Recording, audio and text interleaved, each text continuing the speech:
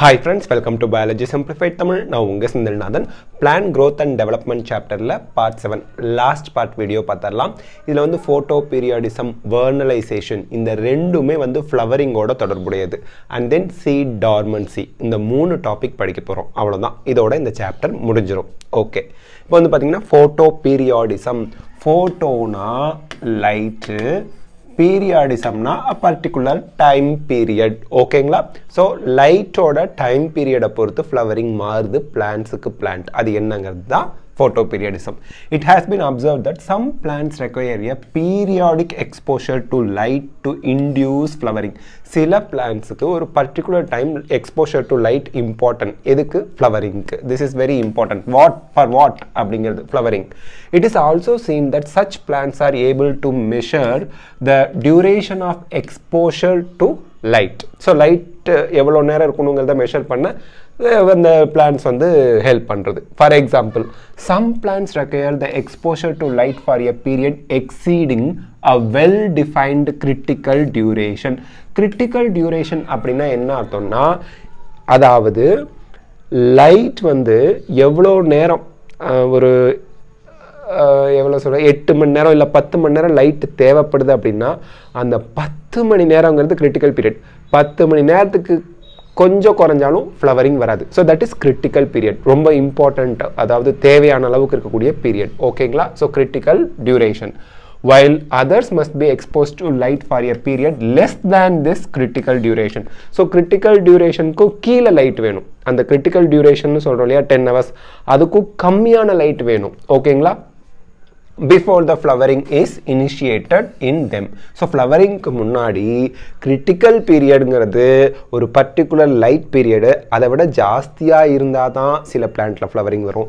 சில பிளான்ட்டில் critical period வர கொஞ்சம் கம்மியான அளவுக்கு அந்த மணி நேரம் தான். அந்த மணி நேரம். அந்த அளவுக்கு இப்போ எட்டு மணி நேரத்துக்கு கம்மியான அளவு தான் லைட் எக்ஸ்போஷர் ஆகணும். அதை தான் நம்ம வந்து என்ன சொல்கிறோம் போட்டோ பீரியாடிசம் அப்படிங்கிறோம். இந்த இடத்துல கிரிட்டிக்கல் டியூரேஷன் நல்லா ஞாபகம் வச்சுக்கணும். அது வந்து ஒரு பர்டிகுலர் மணி நேரம் பத்து மணி நேரம் எட்டு மணி நேரங்கிறது கிரிட்டிக்கல் பீரியட் ஏன் சார் ஒரு பர்டிகுலர் டைம் சொல்லாமல் பத்து மணி நேரம் இருக்கலாம் எட்டு மணி நேரம் இருக்கலாம்னு சொல்கிறீங்க அது பிளான்ட்டுக்கு பிளான்ட் மாறும். ஸ்பீசிஸ்க்கு ஸ்பீசிஸ் கிரிட்டிக்கல் டைம் பீரியட் அப்படிங்கிறது மாறும். இப்போது நமக்கு பிளட் சுகர் லெவல் என்ன சொல்லுவாங்க?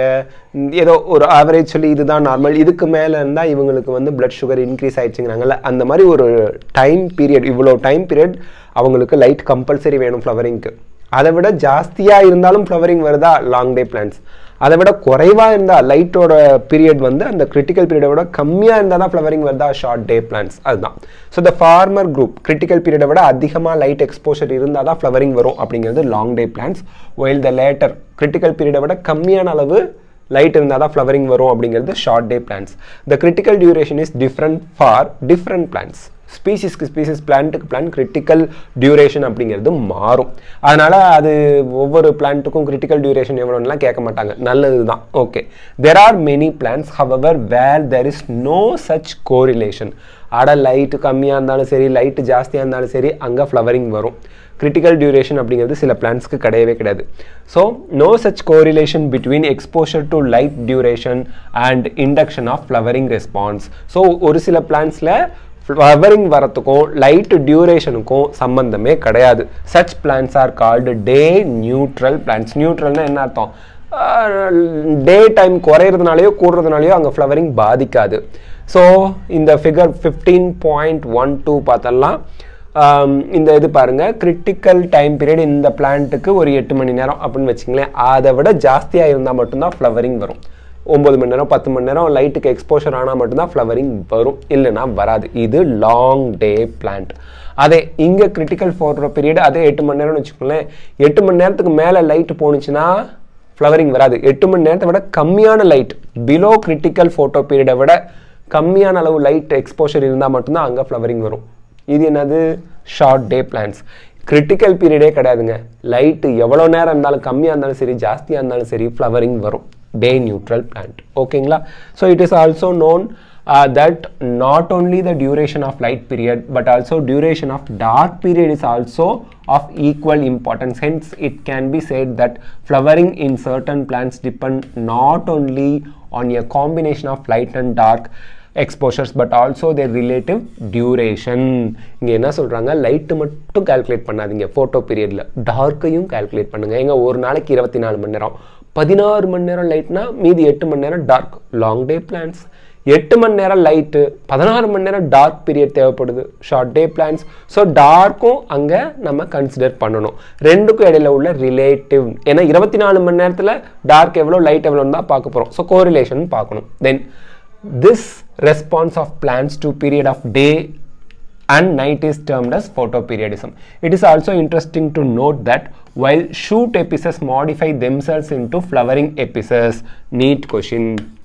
Flower, flower bud, flower எதோட modification flower? Shoot tip, shoot epices ஓட modification தான் flowering epices கேட்பாங்க prior to flowering they that is shoot epices of the plant by themselves cannot perceive photoperiod இங்கேயும் ஒரு NEET question இருக்கு. லைட்டை perceive பண்ணுறது receive பண்ணுறது யார் அப்படின்னா the site of perception of light and dark duration are the leaves very very very important leaves தான் லைட்டை பர்சீவ் பண்ணுது.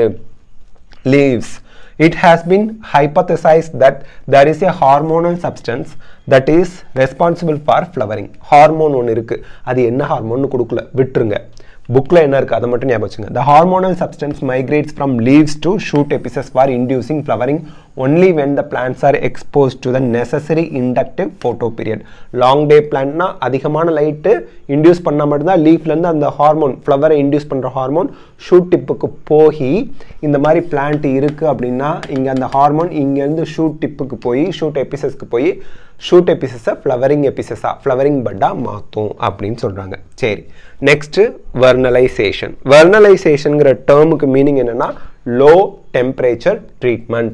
There are plants for which flowering is either quantitatively or qualitatively dependent on the exposure to low temperature. Quantitatively இந்த டிகிரியை சொல்கிறோம் zero degree one degree two degree three degree அந்த அளவை சொல்கிறது quantitatively அப்படிம்பாங்க குவாலிட்டேட்டிவ்லினா அந்த குளிர்ச்சியோட தன்மை எந்த அளவுக்கு இருக்குது அந்த தன்மையை சொல்கிறது குவாலிட்டி ஓகேங்களா to low temperature. So low, low temperature treatment the vernalization. This phenomena is termed as vernalization. It prevents precocious reproductive development late in the growing season and enables the plant to have sufficient time to reach maturity so low temperature treatment வந்து uh, மெச்சூரிட்டிக்கு முன்னாடியே ஒரு பிளான்ட்ல flowering வந்தால் அந்த flower சூம்பி போயிடும் சீடாக மாறாது. கரெக்டாக அந்த பிளான் மெச்சூரிட்டி வந்ததுக்கு அப்புறம் தான் ஃப்ளவரிங் வரணும். அதை என்ஷூர் பண்ணுறதுக்கு ஹெல்ப் பண்ணுறது vernalization vernalization refer specifically specially to that promotion of flowering by a period of low temperature so கொஞ்சம் ஒரு ஒரு ஷார்ட் டியூரேஷனுக்கு லோ டெம்பரேச்சர் ட்ரீட்மெண்ட் கொடுக்கும்போது அந்த பிளான்ட்டில் ஃப்ளவரிங் இன்டியூஸ் பண்ணப்படுது. அதுதான் vernalization some important food plants wheat barley rye இது எல்லாமே வெஸ்ட் வெஸ்டர்ன் கண்ட்ரீஸ் நார்த் இந்தியாவில் வளர்றது.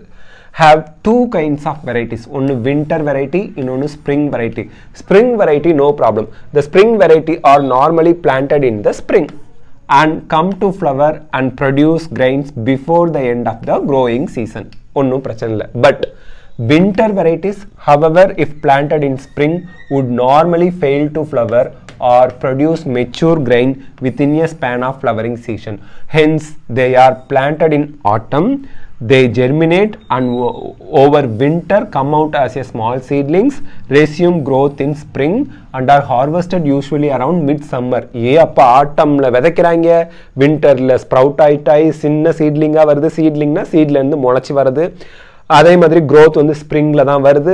அண்ட் தென் மிட் சம்மரில் தான் அவங்க வந்து ஹார்வெஸ்டே பண்ண முடியும். ஒரு வருஷமே அப்படியே ரொட்டேட் ஆகி வந்துடுது அதே ஸ்ப்ரிங் வெரைட்டி நார்மலாக கொஞ்சோண்டு சீசன்லேயே வந்துடுது ஸோ வின்டர் சீசனில் இருக்கிறத ஸ்ப்ரிங் சீசன்லேயே நட்டு வைக்கணும். அப்போ என்ன பண்ணணும்?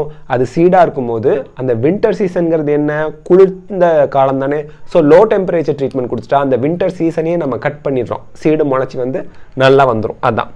Another example of vernalization is seen in biennial plant பயனியல்னா என்ன?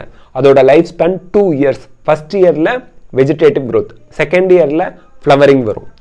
அப்புறம் செத்து போயிடும். இப்போ சீடெல்லாம் வந்துட்டு. பயனியல்ஸ் ஆர் மோனோகார்பிக் பிளான்ஸ் அப்படின்னா என்ன அர்த்தம்? ரெண்டு வருஷம் அதுக்கு லைஃப் ஸ்பேன் இருந்தாலும் ரெண்டாவது வருஷம் மட்டும் ஒரு வருஷம் அதோட லைஃப் ஸ்பேனில் ஒரே ஒரு தடவை தான் ஃப்ளவரிங் ஃப்ரூட்டிங் வரும். That normally flowers and die in the second season second இயரில் தான் அது வந்து என்ன பண்ணும்? ஃப்ளவரிங் வந்து இறந்து போகும். Sugar beet cabbage carrots are some of the common biennials subjecting the growing of the biennial plant to cold treatment stimulates the subsequent photoperiodic flowering response இங்க என்ன சொல்றாங்க நான் வந்து பயனியல் பிளான்ட்டோட சீடு எடுத்து லோ டெம்பரேச்சர் ட்ரீட்மெண்ட் பண்ணிட்டேன் அப்படின்னா first இயர்லேயே vegetative growth maturity flowering fruiting எல்லாம் வந்துடும் செகண்ட் இயர் வரைக்கும் நம்ம வெயிட் பண்ண தேவையில்லை அப்படிங்கிறது தான். So that is vernalization low temperature treatment கொடுத்து ஃப்ளவரிங்கை இன்டியூஸ் பண்ணுறது ஓகேங்களா இந்த எக்ஸாம்பிள்லாம் பார்த்துக்கோங்க. நீட் கொஷினில் கேட்பாங்க. என்னென்ன எக்ஸாம்பிள் கொடுத்துருக்காங்க? ஃபஸ்ட்டு வீட் பார்லி ரை இந்த மூணும் நல்லா ஞாபகம் வச்சுங்க. வீட் பார்லி ரை அதுக்கப்புறம் சுகர் பீட் கேபேஜ் கேரட் இந்த மூணும் பயனியல் ஓகேங்களா? ஞாபகம் வச்சுங்க வென வெர்னலைசேஷன் யூஸ் பண்ணுற பர்னலை பயனியல் பிளான்ஸ் கொஷினில் கேட்பாங்க. நெக்ஸ்ட்டு சீட் டார்மன்சி டார்மன்சினா தூங்குறதுன்னு அர்த்தம். அப்படின்னா என்ன அர்த்தம்? சீடு முளைக்காமல் இருக்கிறது. Okay there are certain seeds which fail to germinate அதுதான் dormancy even when external conditions are favourable இது நீட் கொஷினில் கேட்பாங்க. எக்ஸ்டர்னல் கண்டிஷன்ஸ் வந்து ஃபேவரபுளாக இருக்குது தண்ணி இருக்குது லைட் இருக்குது டெம்பரேச்சர் சூப்பராக இருக்குது பட் ஆனால் சீடு முளைக்கல. அப்போது இன்டர்னல் ஃபேக்டர்ஸ் தான் சீடை முளைக்க விடாம பண்ணுது அதுக்கு பேர் சீட் டார்மன்சி நீட் கொஷின் பார்த்துக்குங்க such seeds are understood to be undergoing a period of dormancy which is controlled not by external environment but are under endogenous எண்டோனா inside inner ஓகேங்களா inside or conditions within the seed itself impermeable and hard seed coat அது ஒரு காரணம் presence of chemical inhibitors அது ஒரு காரணம் அது யாருன்னா such as ascorbic acid phenolic acid para ascorbic acid and immature embryos உள்ளதா இருக்கு. Immature embryos முளைக்காது இல்லையா? Are some of the reasons which cause seed dormancy question கேட்பாங்க. This dormancy however can be overcome through natural means and various other man made measures for example நம்மளும் நம்மளோட முயற்சியிலையும் seed டார்மன்சியை break பண்ணலாம். இல்லை நேச்சுரலாகவே சீட் டார்மன்சி போயிடலாம். The seed coat barriers in some seeds can be broken by mechanical abrasions. Abrasionsனா சிராய்ப்பு மாதிரி கீறி விடுறது கீறி விடுறது. நம்ம கத்தியை வச்சோ இல்லை சாண்ட் பேப்பரை வச்சோ அந்த மாதிரி. ஆர் விகரஸ் ஷேக்கிங் ஒரு பாட்டில் போட்டு நல்லா ஆட்டினா அந்த சீடோட அவுட்டர் கோட் பிரேக் ஆயிடலாம். In nature these abrasions are caused by microbial action bacteria fungi இதெல்லாம் and passage through digestive tract of animals இந்த காக்காலாம் வேப்பம்பழத்தை தின்னுட்டு எங்கேயாவது போய் ஆஹ், எச்சம் போட்டுருச்சுன்னா அது அங்கே உளுந்து முளைச்சிருக்கும் effect of inhibitory substances can be removed by subjecting the seeds to chilling conditions or by applications of certain chemicals like gibberellic acid and nitrates என்னது இன்டர்னலாக அந்த இது கெமிக்கல் சொன்னாங்க இல்லையா? என்னென்ன chemical? Abscisic acid phenolic acid பேராப்ஸ் ascorbic acid and immature embryos இதெல்லாம் overcome பண்ணுறதுக்கு gibberellic acid nitrates apply பண்ணும்போது ஈஸியாக ஓவர் கம் பண்ணிடலாம். Changing the environmental condition such as light and temperature are the other methods to overcome seed dormancy so external கண்டிஷன்லாம் ஃபேவரபுளாக தான் இருக்குது சீடுக்குள்ளே endogenous conditions வந்து அன்ஃபேவரபுளாக இருக்குது அப்படி இருக்கிறது தான் சீட் டார்மன்சின்னு சொல்கிறோம் அது என்னன்னு இந்த பார்ட்டில் தெளிவாக கொடுத்துருக்காங்க. So with this we complete the chapter next நம்ம ஹியூமன் ஃபிசியாலஜி யூனிட் ஆரம்பிச்சிருவோம். இந்த வீடியோ உங்களுக்கு ஹெல்ப்ஃபுல்லாக இருக்கா? லைக் ஷேர் கமெண்ட் பண்ணுங்கள் பயாலஜி சிம்பிளிஃபைட் தமிழ் சேனலுக்கு சப்ஸ்கிரைப் பண்ணுங்கள் because your support is our strength thank you